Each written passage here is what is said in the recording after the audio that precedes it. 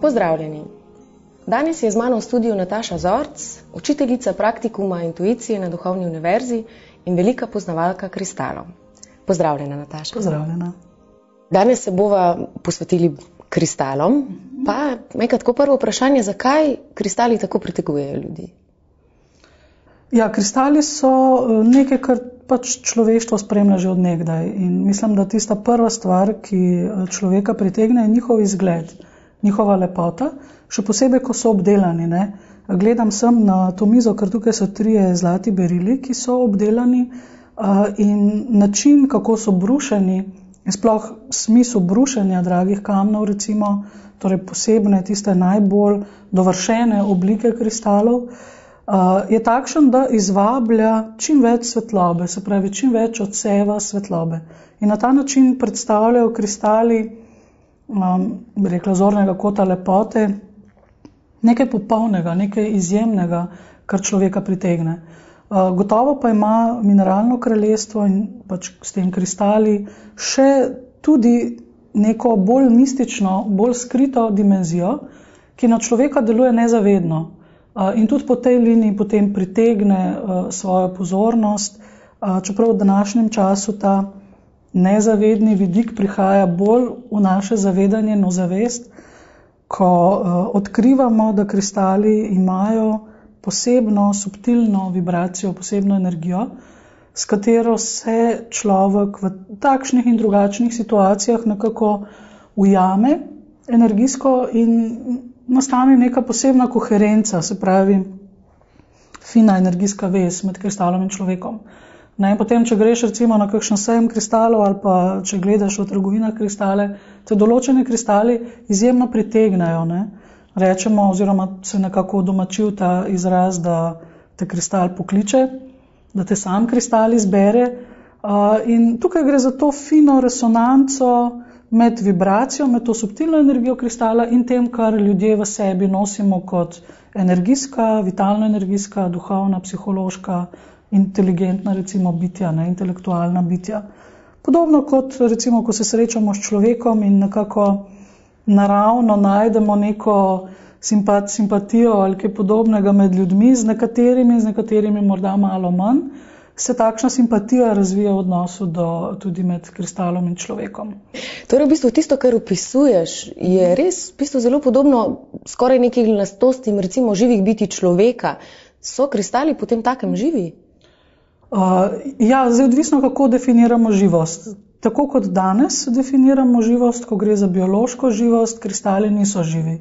To je dejstvo, pač to je kemijska zgradba, atomska, uh, trda snov, v bistvu, ki uh, pač biološko ni živa, uh, vendar pa gledano z vidika subtilnih, vitalnih energij, ki pa zares od znotraj oživljajo vse, kar je na tem planetu, kjer ni izuzet niti posamezen atom, z tega zornega kota pa kristali so živi.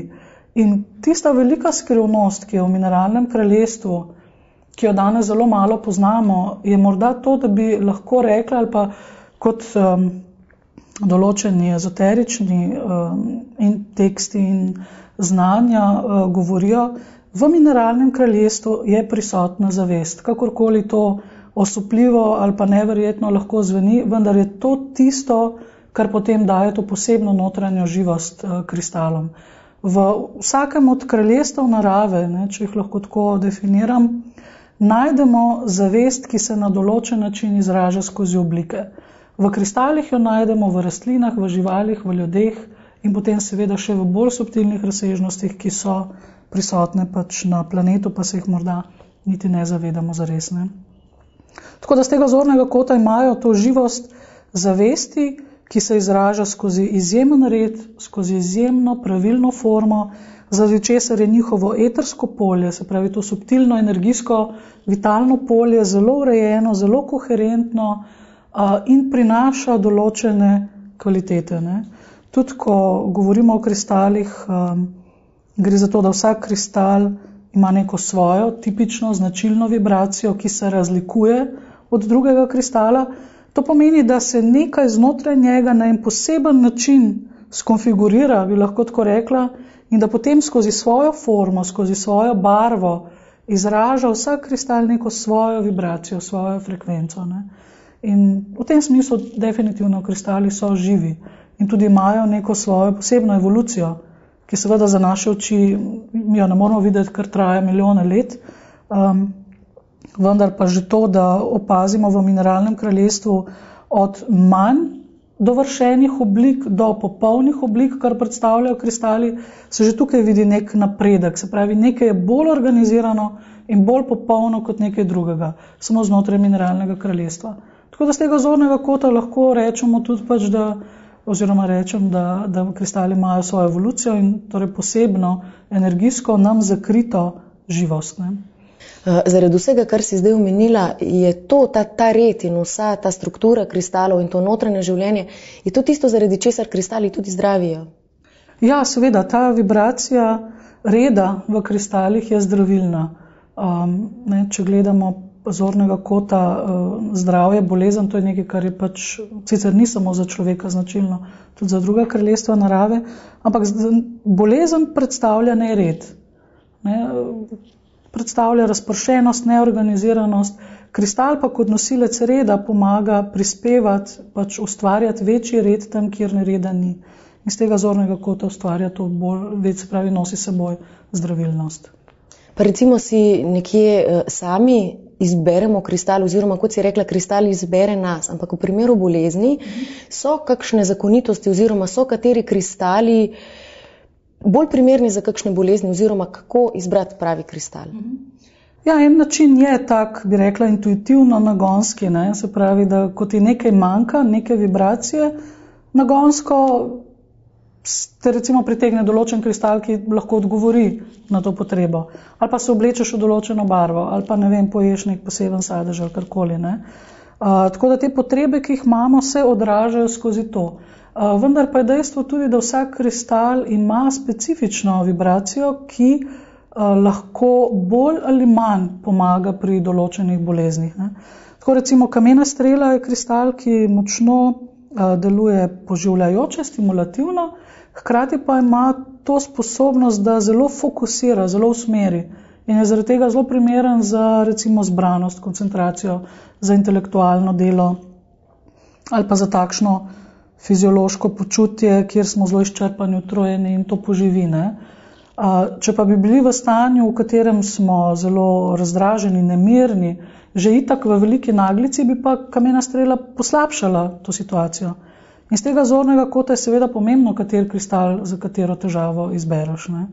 To je bistveno, zato ker lahko si povečaš ravnovesje, lahko si ga pa tudi še poslabšaš, če ni te izbire pravilne. Ne?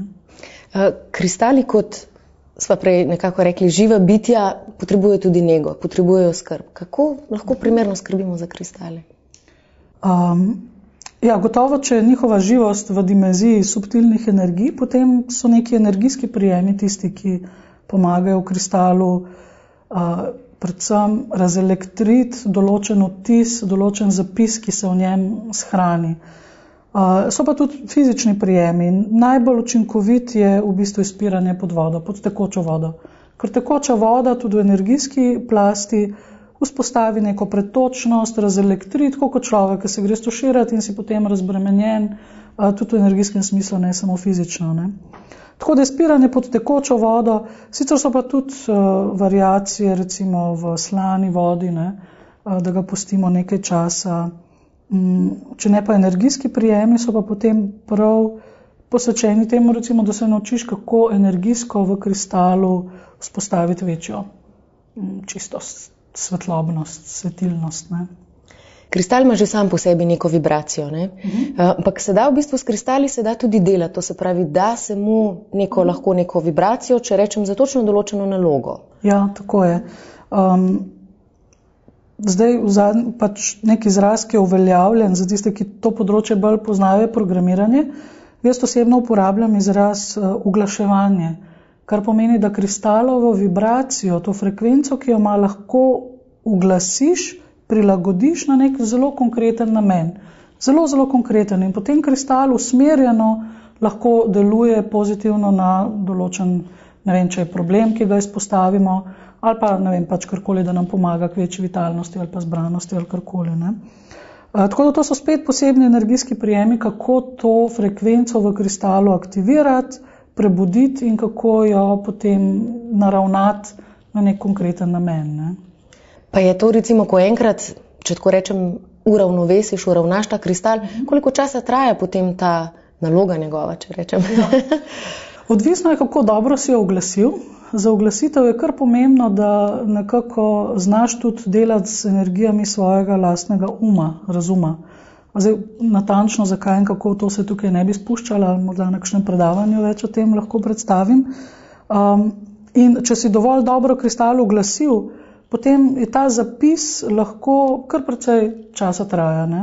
Še posebej, če kristal za ta namen potem dejansko uporabljaš, s to uporabo utrjuješ to vibracijo v njem in je potem se to ohranja lahko mesece. Ne? Če ga pa oglasiš, pa ga ne uporabljaš, pa lahko to ne vem, en teden, 14 dni, pravim spet, odvisno kako dobro si ga oglasil, ne? kako intenzivno si ta zapis ali to vibracijsko noto v njem okrepil. Ne? Pa lahko ta vibracija recimo postane negativna, nam je lahko škodljiva?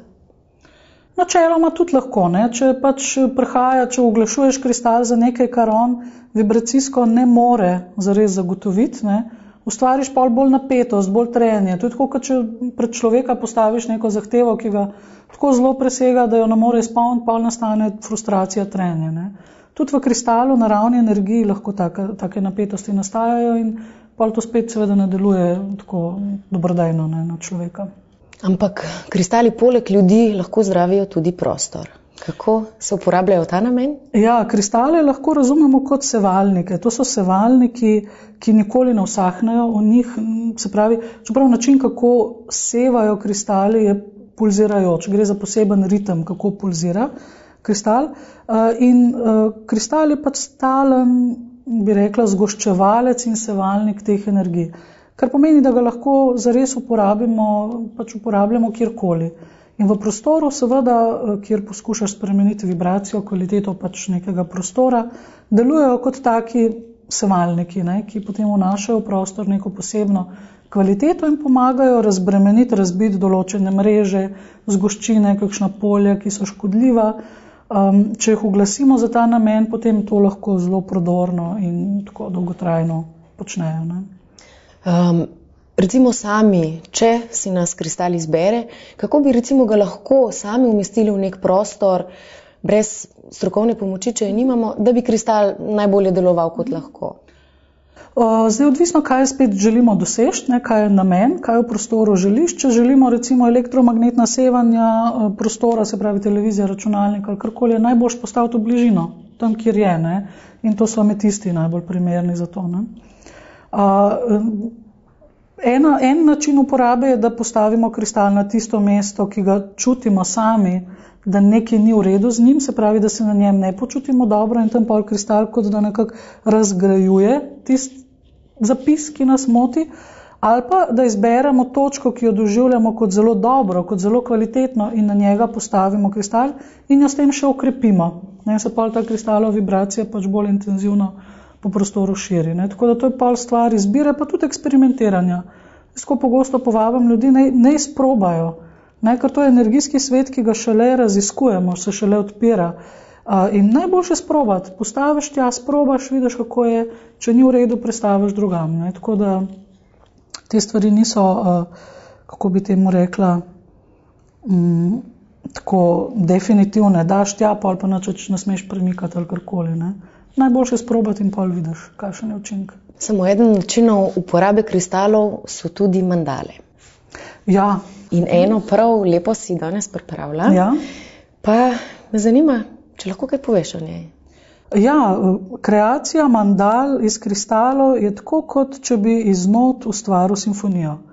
Um, ne, posamezna nota pač zveni, ko jo sestaviš skupaj v harmonijo z ostalimi notami, dobiš jo melodijo, simfonijo, karkoli. Ne.